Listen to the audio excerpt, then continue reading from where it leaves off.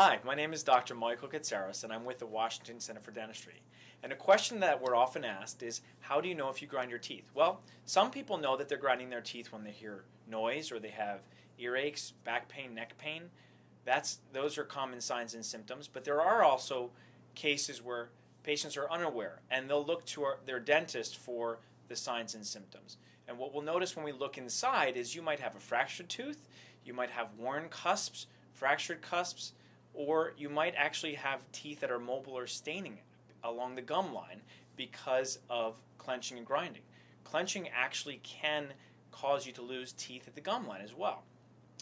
If you suspect that you are experiencing tooth grinding or hear somebody that's doing it, make sure that they see their dentist.